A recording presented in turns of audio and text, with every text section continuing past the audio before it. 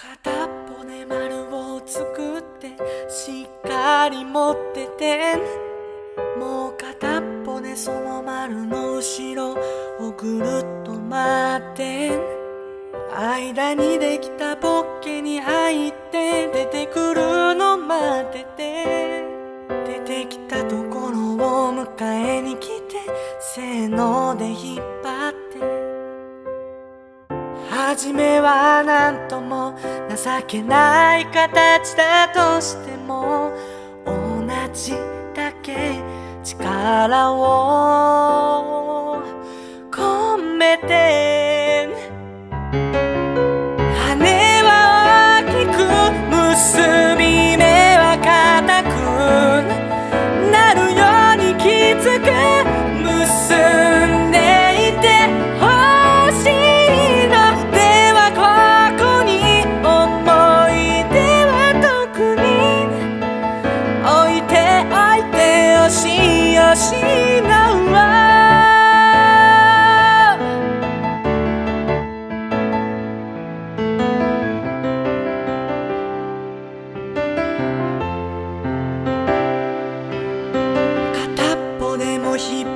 ちゃえばほどけちゃうけど